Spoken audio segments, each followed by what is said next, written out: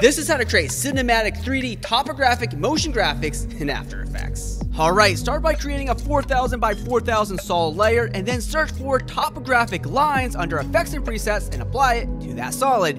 Now you can change the tint colors to black and white and then set the fractal noise effect brightness to negative 50, increase the scale to nearly 700 as well, and set the complexity to 1. Now, set the posterize effect to 2, set the blending mode of the layer to screen, and make the layer 3D. From here, create a camera, and then you can use the camera tools at the top to change the 3D perspective. Now, Let's duplicate our layer, increase the brightness by a few points, and set the Z position to 50. And after this, just keep duplicating this layer, increase the brightness, and adjust the Z position by 50 points of every layer until you're happy with the design. You can enable depth of field for the camera, adjust the camera settings, and add movement to create a topographic map. And get our free templates with the link on this video.